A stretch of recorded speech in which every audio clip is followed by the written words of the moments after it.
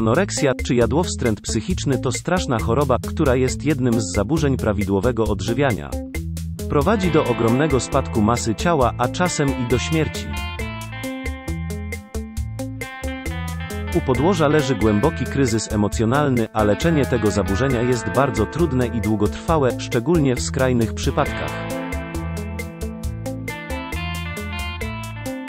Do takich bez wątpienia możemy zaliczyć 26-letnią Rosjankę, Kristinę Karjaginę, która waży zaledwie 17 kg.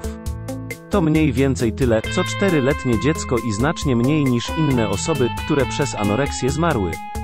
To cud, że kobieta nadal żyje. Kristina pochodzi z Benału w południowo-centralnej Rosji. Anoreksja odebrała jej radość z życia. Kobieta nie ma siły dosłownie na nic. Nie ma się co dziwić, bo praktycznie nic nie je. Jej podstawa w diecie jest woda i kawałek jabłka lub banana, na który czasem sobie pozwala.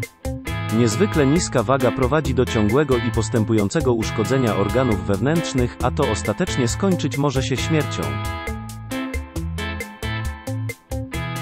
26-latka na niebezpieczną chorobą zapadła będąc jeszcze w liceum.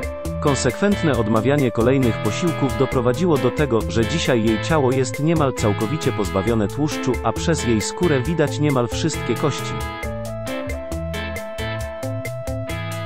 Co na to lekarze? Niejednokrotnie uprzedzali ją, że jeśli nie będzie jeść, umrze. Niestety, mimo ich słów, choroba okazywała się być silniejsza. Los chorej kobiety poruszył mnóstwo osób, które postanowiły jej pomóc. Jedną z nich jest gwiazda rosyjskiej telewizji, Maria Kokno.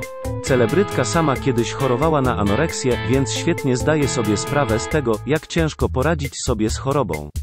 Rozpoczęła internetową kampanię na rzecz Kristiny. Gwiazda zebrała ponad 110 tysięcy rubli, które przeznaczyła na podróż 26 latki do Niżnego Nowogrodu, gdzie miała poddać się specjalistycznej terapii. Tam czekał na nią dr Jan Goland, który podjął się leczenia za darmo. Lekarz i Katarina doskonale zdają sobie sprawę, że przed nimi bardzo długa droga do wyzdrowienia. Goland postanowił zacząć terapię od pracy nad umysłem 26-latki. Wie, że jeśli uda mu się uzdrowić jej umysł, z ciałem nie będzie problemu. Pierwsze efekty pojawiły się szybciej, niż początkowo zakładano. Katrina ma na swoim koncie już pierwsze sukcesy. Udało jej się zjeść coś innego niż niewielki kawałek jabłka czy banana. To sporo krok zważywszy na fakt, że od wielu lat nie jadła praktycznie nic innego.